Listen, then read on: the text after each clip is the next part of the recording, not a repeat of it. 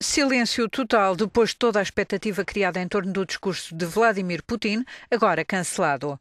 O presidente da Rússia está na Crimeia, anexada pelo governo em março passado, embora a maioria dos países, entre eles os Estados Unidos e a União Europeia, continuem a considerar a península território ucraniano. A agenda de Putin, que já visitou a Crimeia a 9 de maio em comemoração da vitória russa sobre a Alemanha nazi, está recheada com reuniões, tanto em Sebastopol ontem como em Yalta hoje. A visita à Crimeia não serve apenas para reunir o Conselho de Segurança russo, é bastante simbólica. Putin deveria falar à elite política russa para muitos políticos que foram afetados pelas sanções ocidentais, não incluindo quaisquer membros da oposição.